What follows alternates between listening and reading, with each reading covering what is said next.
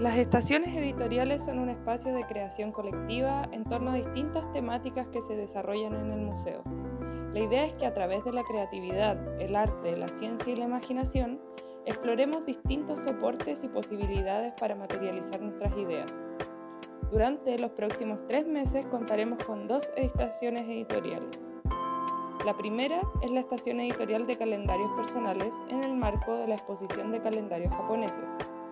Con ella buscamos incentivar la observación y el registro a partir de elementos que nos interesen, como el clima, nuestras emociones, el ciclo de una planta, el ciclo lunar, etc.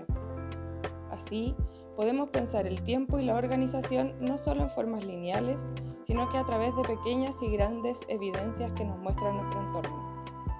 La segunda estación editorial está desarrollada en relación a la exposición Bosque Fragmentado del artista Rodrigo Arteaga. En esta instancia imitaremos sonidos del bosque y crearemos un bosque sonoro colectivo. Mediante la exploración sonora y la grabación de sonidos que parecen ser parte de la naturaleza, pero que no necesariamente lo son. ¿Te atreves a descubrir cuáles son? Les esperamos todos los días durante las mañanas para explorar el museo y crear juntos y juntas en estas instancias. Nos vemos.